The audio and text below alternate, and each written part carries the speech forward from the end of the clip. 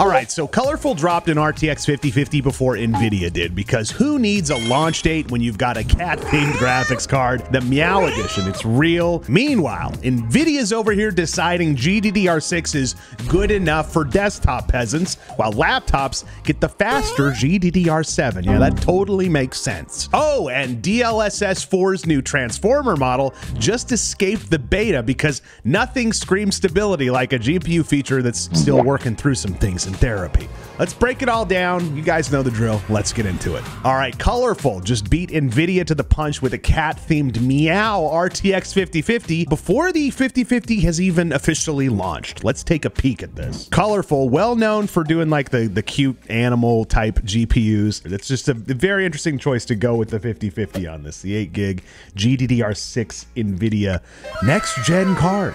Check it out. Uh, Colorful launches the GeForce RTX 5050 Meow graphics card. Look at that thing. Isn't that fun? Uh, the company launches two uh, iGame Ultra models featuring either two or three fans. These are the highest end models in the RTX 5050 lineup, and there's apparently no plan for a iGame Vulcan version. So why would they pick the 5050 as the card to feature uh, these cute, unique designs. Now, these iGame cards are available in triple fan or dual fan lengths, and they're equipped with 90 millimeter fans. We've got no specs yet on the cards uh, since they were uh, a little bit caught off guard by NVIDIA saying we're, we're going to launch these cards in July. So no detailed photos or clock speeds available at this time, but it's going to look something like that, which is kind of interesting. Colorful is also introducing the Colorfire Meow series. Colorfire used to be a Radeon brand, but they uh, disappeared and returned with quirky mid-range cards that Colorful was hesitant to release under its official branding, which is great if you're going to make a, a kitty cat card. Nothing says cutting edge performance like cartoon cats and a product launch uh, that beat the actual GPU release. Colorful also has this Battle Axe series of cards, again, two or three uh, fan cards. The Meow edition sits above the Battle Axe, though, because the Battle Axe, and I didn't even know this was still a thing, the Battle Axe series is aimed at uh, internet cafes. It's not a thing here in the US, but but maybe around the world, internet cafes are, are still a thing. Truly didn't know they still existed. Apparently, there's a need. Does it meow when the card reaches certain temps? Great question. Now, I talked about this in a previous video. The 5070 that MSI came out with, this Toy Story edition Buzz Lightyear card, that's a cool, cool card. The fact that it's only going to be a Taiwan exclusive, though, not coming to the US, open these up. When you make cool collabs like this with interesting IP like Toy Story. Big Toy Story fan, especially you're building a system for your kids. Now, I wouldn't give my kids a 5070. You will get a 5050 and you'll like it. DLSS 4's Transformer model finally exits beta, but there might be a couple of problems still. Let's dig into this. I'll tell you what's going on here. All right, so this is the DLSS Transformer model from NVIDIA. They talked about this at CES this year.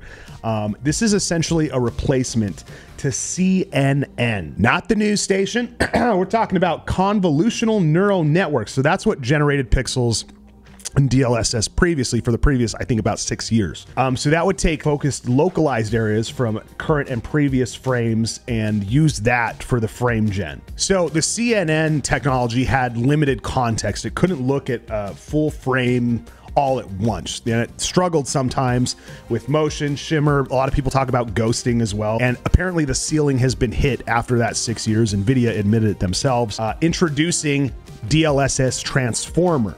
Uh, so this is brand new technology that's being released. It's the same architecture that powers a lot of AI tools like ChatGPT, um, except uh, it's for video frames. The new transformer model is more advanced than CNN's. It uses twice as many variables as the previous DLSS upscaling models and no longer focuses on localized content. Instead, it processes the entire frame and evaluates the importance of each pixel, even across multiple frames. NVIDIA says the transformer model has a deeper understanding of scenes. It delivers more stable pixels, reducing shimmering and similar artifacts, less ghosting, better detail motion, smoother edges as well, and it improves ray reconstruction image quality, especially in scenes with challenging lighting. So instead of analyzing small pixel areas, the transformer model processes the whole frame at once. It cross references multiple past frames and it builds a, a scene wide understanding of what's moving and how to predict motion as well as edges. So the hope is with transformer technology, it cuts down on you know shimmering,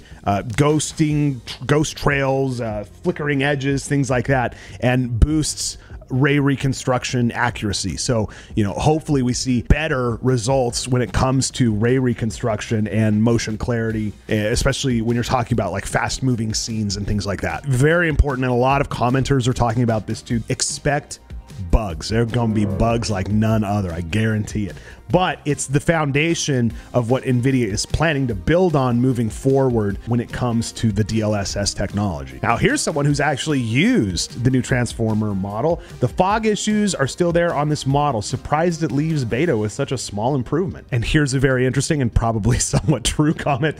Uh, yes, but if you really and fully want to use this new Transformer model, you have to buy the RTX 6000 next year. Ooh, I can't wait. Let me know what you guys think about this. Are you excited about some of these changes coming to DLSS, or are we are we sick of hearing about this? Let me know down below. All right, I want you to imagine strapping a desktop RTX 5060 with GDDR7 rockets to your ROG Ally. And listen, if this next story is true, mobile gaming's about to blow up. Check it out. Uh, upcoming GeForce RTX 5060 eGPU to feature Oculink and Thunderbolt 5. ETA Prime has revealed a prototype of a new external GPU solution.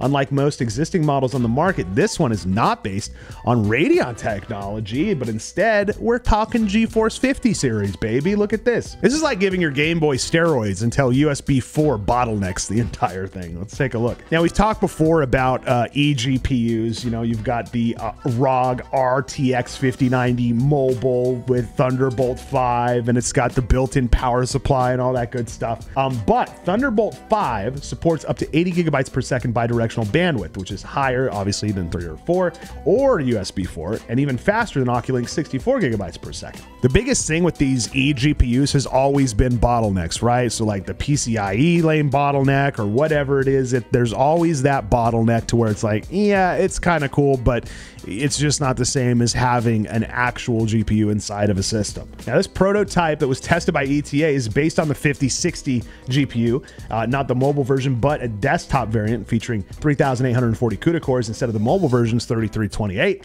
making it clearly more powerful. It also supports a higher TDP of 150 watts, while the mobile version's up to 115 with dynamic boost.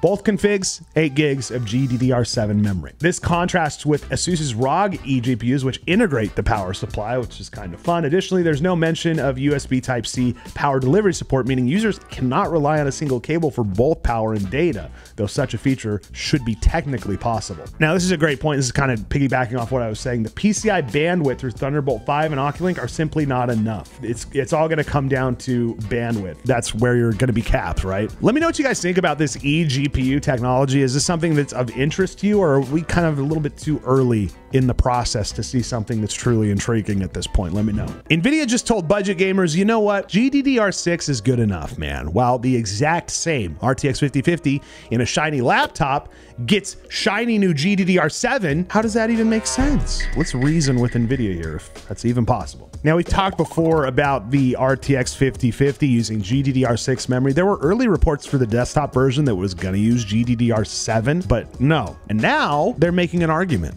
for why they made such a decision. NVIDIA explains why its desktop RTX 5050 only uses GDDR6 memory instead of GDDR7, like the laptop version. NVIDIA's decision to use older GDDR6 memory with its RTX 5050 desktop GPU has taken some by surprise, given that its laptop counterpart features newer and faster GDDR7 memory. NVIDIA's director of global PR, Ben Berraondo, responded to Hardware Canucks on X, defending NVIDIA's usage of GDDR6 in the RTX 5050 desktop card, claiming GDDR7 is, quote, the best choice for laptops. You know, nothing screams that we care about gamers like giving your desktop GPU uh, last gen memory. Kind of fun. Berraondo says that the RTX 5050 presents a special case where GDDR6 is more beneficial on the desktop version and GDDR7 is more beneficial on the laptop version, rather than having both powered by GDDR7. He explained that the memory type's lower thermals and greater power efficiency are why the mobile version needs that GDDR7 and the desktop doesn't at all. And here's his response uh, to the tweet. In this case, the benefits of GDDR7 are for thermals and battery life. It's crucial for OEM partners, and hopefully you'll see some great laptop options. And this is probably the most important line in the article. It's fair to assume that cost would also weigh into this decision. That's put lightly. It's fair to assume that cost is the only thing that maybe matters in this decision, or at least is the most important to NVIDIA. And, you know, you have Ben, uh, the NVIDIA employee over here, saying, you know what, it's fine, which is essentially the tech equivalent to she's got a great personality. GDDR7 has up to 40% more bandwidth and better thermal efficiency. So the laptop version is faster and cooler than the desktop one. Nice. I love that for us. All right, guys, that's going to do it for today. Let me know uh, are you going to rush out and get the 50 50? It's coming out end of the July. Are we going to see lines at Micro Center? I have my doubts, but I don't have my doubts about you hitting the subscribe button and leaving a comment and a like down below. All right, guys, that's going to do it for today. We'll see you next time.